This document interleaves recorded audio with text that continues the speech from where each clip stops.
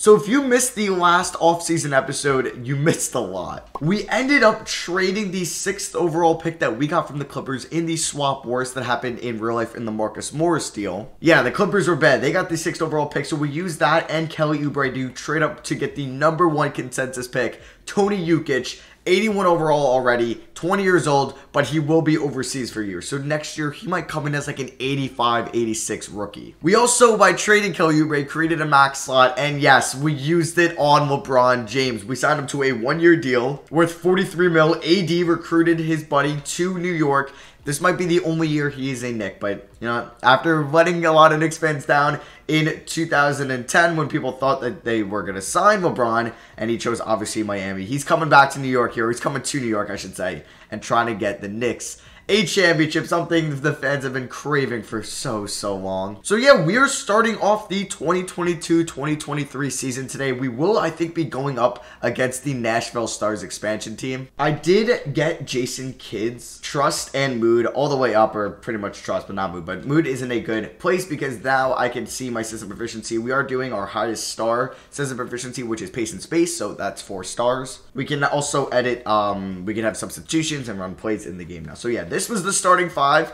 I'm very excited to see what this team can do. I think it's very good. Obviously, let's hope injuries don't screw us over. I thought Matt Thomas was getting a decent more, a couple more minutes than that, but I guess we'll start the season with him getting three minutes. We will simulate the first game of the year against the Portland Trailblazers, and we lost. Great. AD at 42-14 and 4 LeBron at 20-11, but yeah, we ended up losing.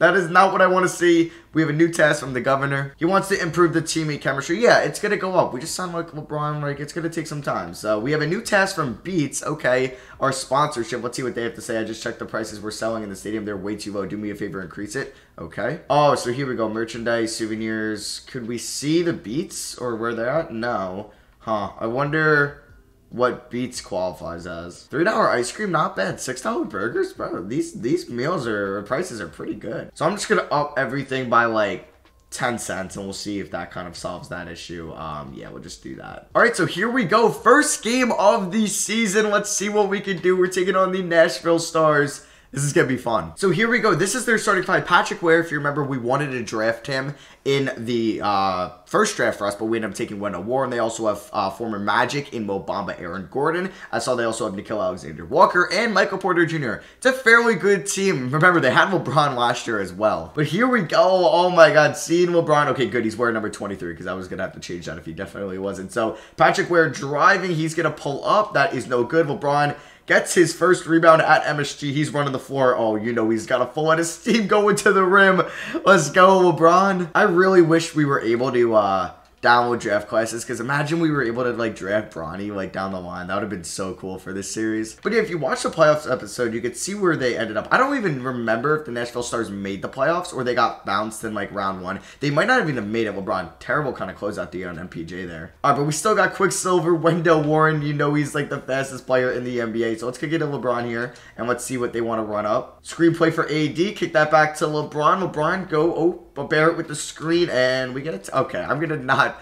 I can't do that. I can't be forcing shots just because it's LeBron. Oh, Mitchell Robinson does he wear 23? He might. Is that why he's wearing 7 now? Quicksilver get into the rim with ease. Wendell Warren's first bucket at home this year. I think we also need to get the headband back on LeBron. But yeah, MPJ's got uh, 6 points if he knocks down this free throw. And yeah, alright, he's got all 6 of their points so far. Alright, even though we still, like, we got LeBron and we're going to want to use him, we got to go to arguably our best player. He's our highest rated player. Uh, let's kick that out to RJ Barrett. Wendell Warren for 3. We upgraded his 3 in the offseason. No good. AD can't get the board there. Nickeil Alexander Walker from downtown. That is no good. Rebound by LeBron. Let's kick it up to Quicksilver. And Wendell Warren going straight to the rim. He is so quick. All right, we got LeBron and AD running the fast break. AD go to rim. Alley-oop that. LeBron to AD. Oh, good D there by Aaron Gordon. All right, we got to go to RJ Barrett, though. And terrible D there by Nickeil Alexander Walker. I, am expecting RJ to still average over 17 points, or at least 16 this year. I think we would have had other plans. Like if Tony Jukic was playing this year, I don't think I would have went after LeBron or even like another free agent. Like I would have just tried to develop Wendell Warren, RJ Barrett, and Jukic. But since I, I, don't know. I wanted to contend for a championship next year, and I knew LeBron could have just been a one year deal. So we're gonna try to win him with him this year, and then most likely not bring him back and kind of go with the youth movement of Wendell, Barrett, and Jokic, and then AD is obviously still gonna be our star player. But I we're getting way too ahead of ourselves. This is our second game of the season. There'll be a couple episodes until the playoffs. Where we're hoping for championship aspirations. I do like Patrick Ware's like fit. Like he looks pretty good on the floor. As Aaron Gordon's gonna get that rebound definitely over Wendell Warren. Right, let's see the LeBron and AD pick and roll. We haven't seen it yet. And I got to get AD on the board. Is this going to be an AD pick and roll this? Let's go. Let's get that screen. Let's kick that right to Anthony Davis and AD. Hmm, he missed that. AD with the screen. LeBron's to get right to the rim around MPJ, and he gets the end one. Can LeBron complete the three-point play? Yes, he can. Let's go. We are tied up at 13. LeBron with the steal. Let's go kick that up to Wendell Warren. Oh, let's go. Perfect pass from LeBron to Quicksilver. Wendell's got eight already. Wendell Warren A plus perimeter D. LeBron A plus. RJ A minus. A uh, AD has A. Wow, we are such a good defensive team. As you can see right there, Wendell with the steal. Can he split the defense? He can, and he's gonna get the layup to go. He's got 10 points. So they also have Jalen Brunson who just got subbed in. And who's that number 42? I thought that was originally Bjelica, but it's definitely not. I think it's Maxi Kleber. So Wendell kicks it up to RJ Barrett who's going to alley oop it to LeBron. Let's go. This team is so much fun. AD though, 0 points, 0 rebounds, 0 assists. We got to get him on the board. AD gets his first rebound, kick it up to Wendell. And like, look how fast Wendell is. We'll kick it to LeBron. LeBron, I didn't need to do a spin move, but anyway, he's got 9 points. LeBron, you could see his points did drop from 31 and 22 or 31 um, in 2020 to 22 last year as Jalen Brunson driving. I'm working here with Mitchell Robinson. I thought Wendell was going to get a steal there. Maxi Kleber for three. That's no good. All right, kick it up to LeBron. Let's go, LeBron. Get it right around Maxi Kleber with ease and he cams it. Oh my God. LeBron is so good. All right, fast forward a little bit to the second quarter. We did kind of blow our 10 uh, point lead already. We are up 35 to 34 with AD at the line. I've literally just sat here for like a minute. What, what's going on? All right, here we go. We got AD and we got Powell. We got Okogie in at the three, Ty Jerome, and then Luke Bishop. Yeah, we get to see second year Bishop this year. Uh, we did pay Mitchell Robinson a lot of money last offseason, but I, I didn't want to let him go because I wanted to go all in on this year. Chris Clemons off the screen, and he knocks down that three. All right, I actually just found out I think he's the smallest person in the NBA. He's five nine, I believe. Okay. Don't know why I said okay there, but let's get a screen from AD. Okogie to the rim. AD roll. Okay. AD. I don't even know who's guarding him. Out to Norman Powell. Norman. Oh, he was moving. No way he knocks that down. Almost hit it. Okay, so that's this guy Atkins. I'm guessing, yeah, he's obviously an auto-generated rookie. He looks like one as Mo Bamba gets that to go, and they're up by three. I guess, like, just, uh a quick observation, early observation. Our bench is probably going to be like one of our weak points as AD misses the jumper. Like, I don't know if Luke Bishop is ready to be like a top two scorer off the bench. Like, obviously, we can rely on Norman Powell, but can Bishop perform? Can Ty Jerome, Josh Okogie provide us offense when we need it? As Mo Bamba, no way that goes in. Good D there by Anthony Davis. Kick it up to Ty Jerome. Over to Josh Okogie. Can Okogie get to the rim? Yes, he can. Let's go, Josh. But I really want Okogie to be able to knock down a three because he's such a good defender, so that would be huge for our second unit. So if he's able to knock down like the three ball, like he could definitely have a spot in the rotation. Because we know Ty Jerome's more of a playmaker, passer, set everybody up rather than playing offense or at least scoring. That's what I meant to say. Uh, defense doesn't look too good there. Kick it to AD in the post. He's got Michael Porter Jr. on. This should be easy. Go inside. Oh, whoa! I was not expecting that. AD with the steal though. Let's kick it up to Josh Okogie. Josh, can you get around Mo Bamba? Give that inside to Norman Powell. Oh, okay. I'm gonna get stuffed if I even bother with that. So Luke Bishop kick that to AD. AD get that to go. Thank you. Chris Clemons driving. AD can't get the block there, but Mo Bamba with the tip slam. Come on, Luke. You got to box out. AD, though, going right at Mo Bamba. He's going to the line. I had Taj Gibson subbing in for Anthony Davis, who was a vet we signed in the offseason. Technically, we signed him because he left us last year. We didn't bring him back. So when he comes in, not a lot of offense in the second unit with Jerome, Powell, Okogie, Taj Gibson, and Luke Bishop. All right, so out of a substitution,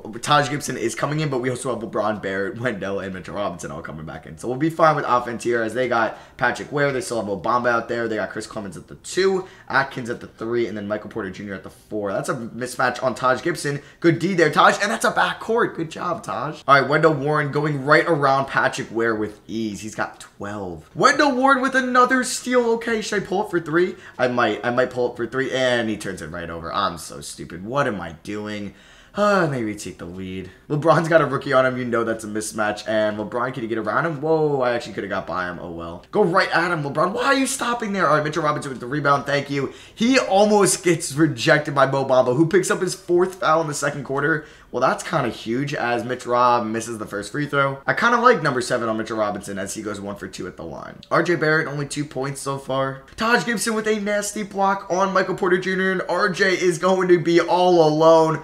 Throw it down, Rowan. Mitchell Robinson with a block on Maxi Kleber, and I jumped way too early there, but we get almost a steal out of bounds. Amazing D by Mitchell Robinson there. That's why we had to re-sign him, because he's so good on that end of the floor. Kick it to Mitchell Robinson all alone on Maxi Kleber. Mitchell Robinson bully him inside and slam it and one. It's too easy for Mitch. Can he complete the three-point play? Of course not. RJ almost gets the steal, but then stuffs Chris Clemons. Wendell Warren with the steal. Okay, kick that to RJ Barrett. Oh, Mitchell Robinson, you could have ran with us. Spin move inside. No, mm, that's not going to go in, but Mitchell Robinson, the cleanup crew. Kick it to Taj Gibson. Uh, out to RJ. I don't know what I'm doing here. RJ get right inside, and he gets the layup to go. Beautiful connection there, and finished by RJ Barrett. Michael Porter Jr. getting right around Taj Gibson, and Mitchell Robinson with a great contest there. Kick it up to Wendell Warren. Quicksilver splitting the D out to RJ Barrett for three. RJ, let's go. Michael Porter Jr. driving good D there by Taj Gibson. Rebound by Mitchell Robinson. Kick that up to LeBron. I can't believe we could say that now when LeBron get right to the rim and posterize the rookie Atkins. LeBron, man.